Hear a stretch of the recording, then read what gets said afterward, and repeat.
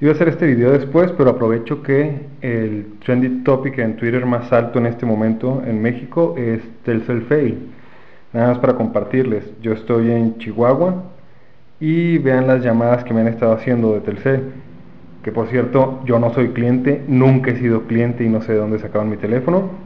Tengo una llamada del viernes 17 de diciembre para ofrecerme que me cambie con ellos. Les digo que no, que me saquen de la base de datos si no me interesa vuelven a hablar el domingo 19 de, diciembre. Me tomo un minuto para decirle que me saquen de la lista, que no me interesa, que no me voy a cambiar, que no estoy de acuerdo con muchas de las políticas de Telcel, que no conozco a alguien que no se queje del servicio y que no me vuelvan a marcar. ¿Qué hacen? Me vuelven a marcar.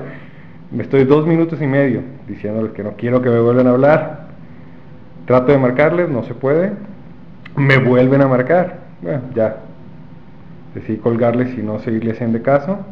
Tres llamadas el domingo, domingo, ¿eh?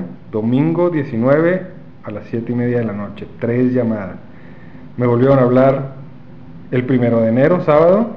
Me volvieron a hablar el lunes 10 de enero a las 7 y media de la noche. Y me volvieron a hablar el martes 18 de enero.